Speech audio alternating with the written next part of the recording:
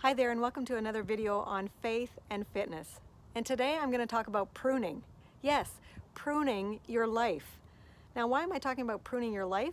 Well, because I live in this complex and the landscapers were in today and I watched as they cut down my favorite bush. And I felt a little bit sad.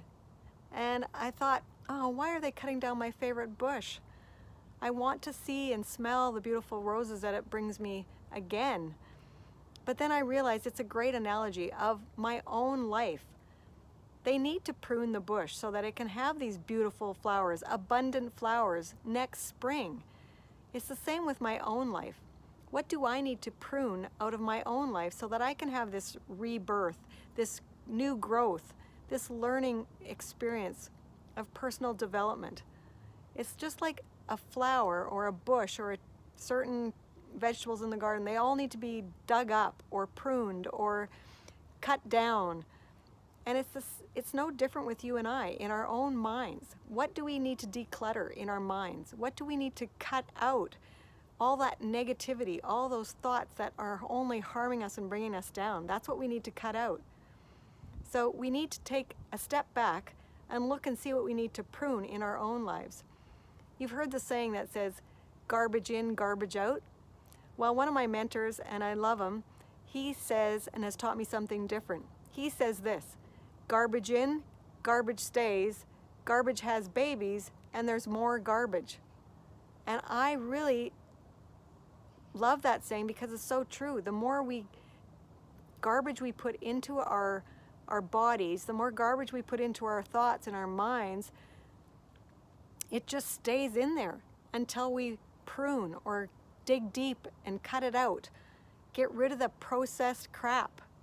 All the stuff that the media and the social cultures that are, are harming us right now with the negativity, even on the news. Doesn't matter where you go, you hear all this negative stuff that's going on with, it doesn't matter what. There's so much negativity in the world. We can become a victim to that and be, fall victim to depression so easily just because of the negativity that's flooding our minds. So what can you prune? What can you get rid of? It's time to dig deep and prune your life. And that's what I'm gonna do. I'm gonna go and prune out some of the stuff that needs to come out. So whether it's in your house, whether it's in your closets, whether it's in your pantry, whether it's getting rid of the junk food that's harming your body, or whether it's harming your mind, like television or reading stuff that is only hurting you, listening to gossip. There's so many ways the negativity floods our lives. So it's time to dig deep. Dig deep in the dirt and declutter. Prune. Cut out that junk out of your life and you will see that you're going to live a happier, healthy life.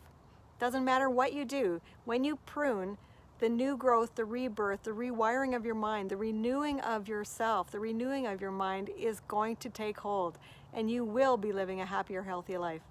So have a great day pruning, okay? And I'll talk to you again real soon. If you haven't already, please click the button and subscribe to this YouTube channel so you don't miss my upcoming videos on faith and fitness. Talk to you real soon. Bye for now.